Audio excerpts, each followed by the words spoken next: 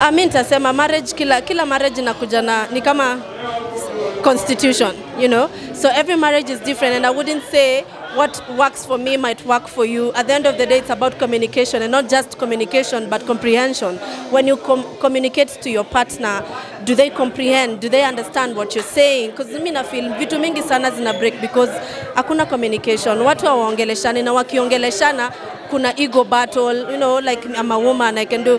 If if we walk in, you know, ch chest thumping in, in, in situation, you know, in marriage, in partnership, manze ita, itafika tu mahali ko elastic limit. SPM.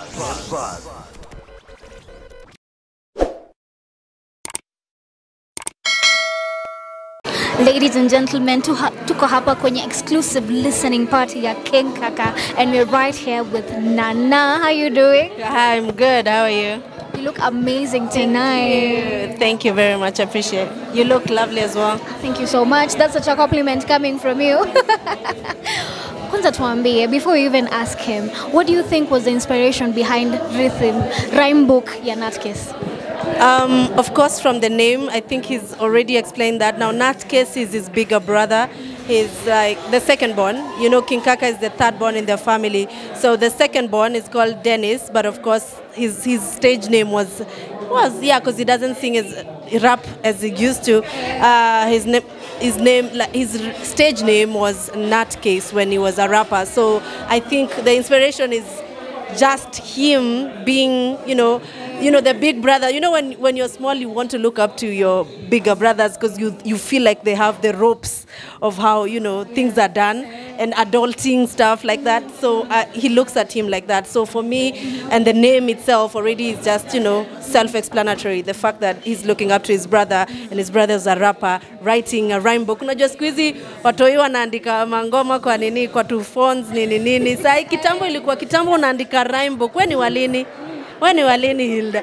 Because you know back in the day, you you remember Nation kitambo ilikuwa inatokea gazeti yenye ilikuwa Sunday iko na hadi lyrics to the song boom boom ba you know like that. So we used to stick those to to rhyme to rhymes kwa kitabu and then the next time manzewe ndo unajua kuimba because you already stuck those lyrics.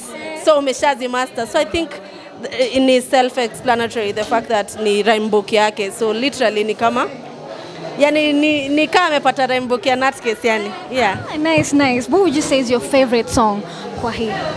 ndasema the favorite favorite. Wacha nisiseme favorite lakini zote nazilike but kuna moja yenye ameperform na jadi.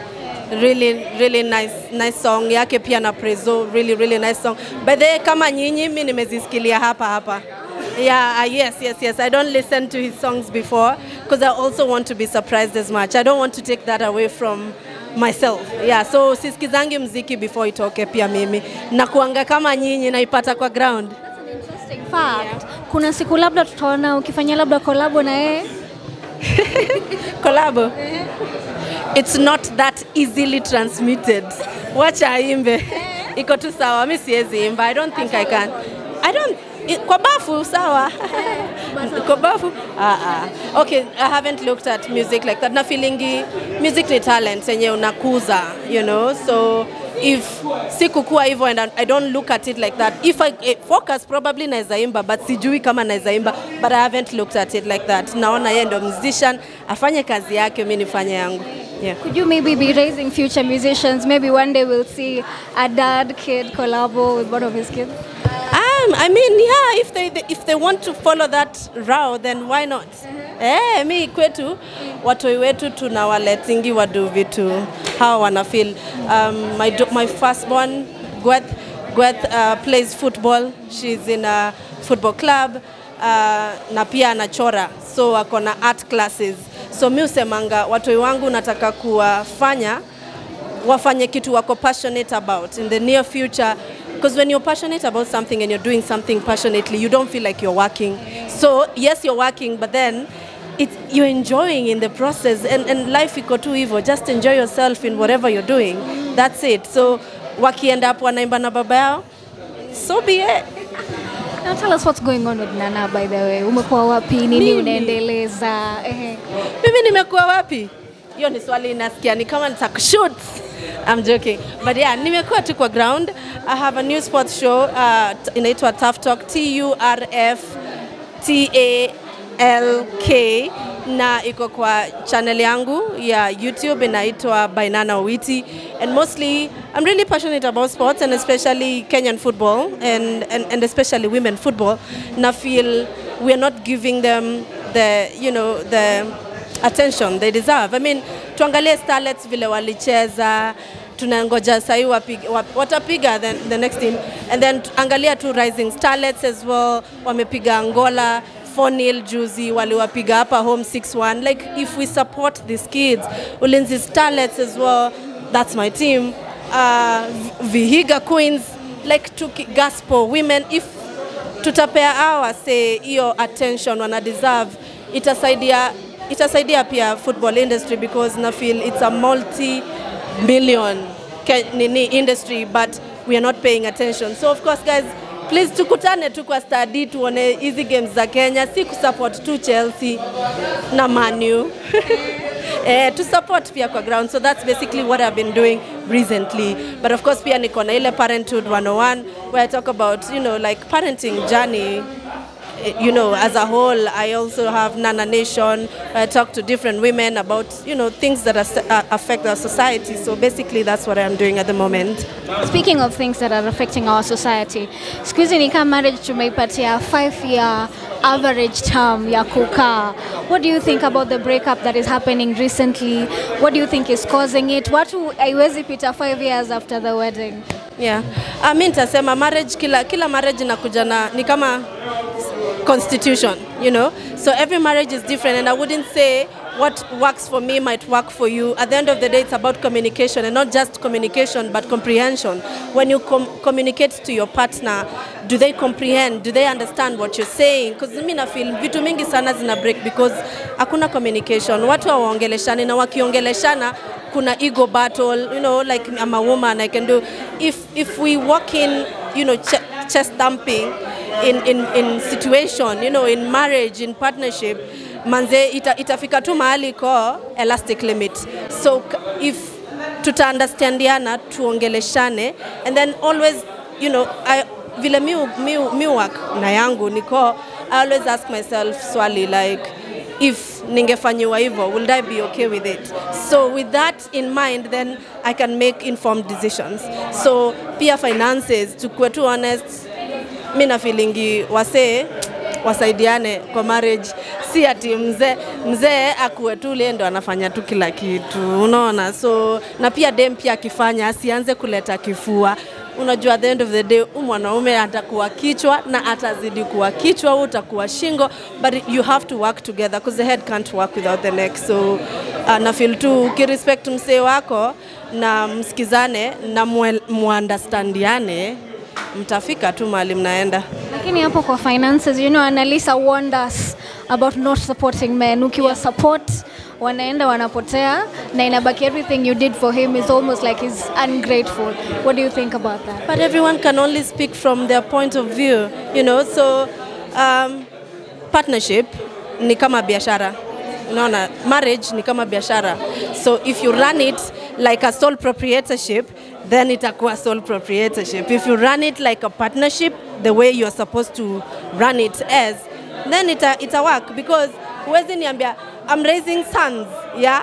And i honestly want to i want to be the, the, the person they look up to in terms of marriage. Like nataka akiniangalia nataka mtu mtu like kijana wangu akiulizwa unataka partner kama gani? I honestly want mtoi wangu adet msee mwenye I can only be that person mwenye nataka au wa emulate and that comes with manze ni kuhad Ilda ni kuhad sana. So hebu imagine kuachia tu msee wako afanye kila kitu. Honestly speaking you think it's right? Absolutely not. Imagine hivyo ndo utaingisha kijana depression. Wala walai tena imagine but hebu imagine mkisaidiana. We ona saa ile unasema ya fanya hii nifanye hii ona vile vitu zina work but ukijiekea hapo ati yeye mwanaume akuwe provider we shauri yako What should you say is that one thing about King Kaka that you would want your sons to emulate? almost everything is, is, is like ntasema to arrive at the person he is right now has been a process. He was never this person. And I always say that. Like, he was not the person. Like, ungeniuliza a couple of years ago, I'll probably say, ay! But then, um, hata yeye ameevolve. Unajua, na hii hii- kitu ni you can't be the same person that you were five years ago. And for him, mi nitasema it's taken a lot of unpacking. It's taken a lot of, lazima pia yeye akuwe willing kusema okay, inaendaje because saa ingine unaweza kuwaza mtu na ujuu unamkwaza, but akishakwambia e, unanikwaza hivi then wewe ukuwe receptive of kile unaambiwa but unaona watu wengi wanakuangaa zile defensive. Like by the way I think tumetrainiwa. I think ni hardship tu zetu mbaya.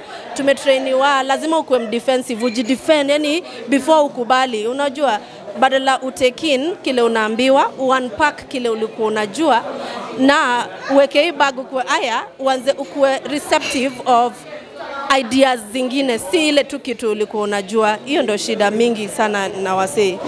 Yeah. All right, Nana, I want to say congratulations. You've been with Kaka for so many times. We've seen so many situation challenges in life, of course. You've been there to support Kaka. Now, one, kwanza say congratulations now. Your son, Royal, and a graduate. I'm a graduate Leo. Yes, how do you feel as a mom to see your son graduating? It's epic to be honest. It's, it's epic. It's been a journey. And uh, naonanga tu wase oh royal, royal. Yeah, royal didn't, didn't grow like under my heart, but he grew in, inside my heart. You know, like sim, I didn't birth him, but he's, he's my child, you know, by the virtue of si tunaishi pamoja, nakapenda, kananipenda. This is the only family he knows. So I'm like super, super excited for him. Uh, he's a very good footballer. Nika striker kanoma mbaya sana hata yako football club. So like today has been epic, honestly.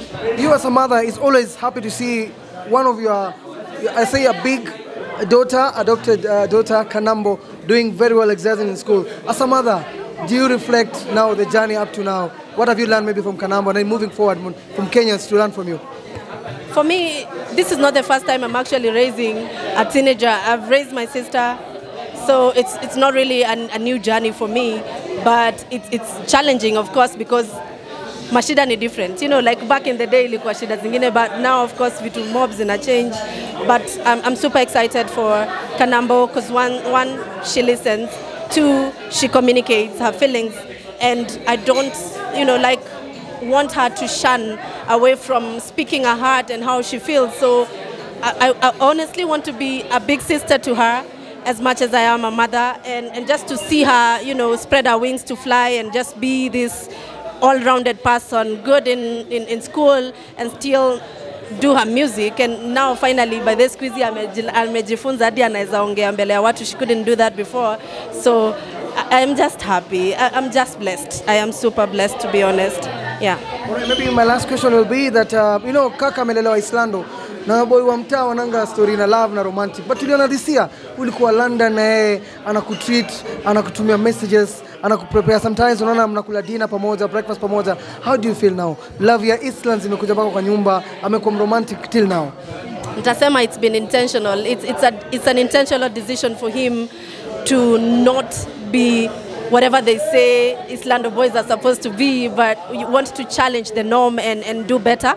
So it's, it's something that has been a process. It's a due process where of course kuna vitu mingi haku anajua but polepole pole tu anaenda akiadapt akijua so I'm super happy this is the happiest I've been in my life yeah Right, maybe just on, on a music aspect about Kaka. You've been there close to Kaka. You're more than a friend to Kaka. What is that one thing maybe Kaka wants to achieve as an artist? Is it performing and, and on those big arenas? Is it uh, winning Grammy Award? What is that one thing that Kaka always pushed to achieve in life as an artist? Yeah, but that's his story to tell.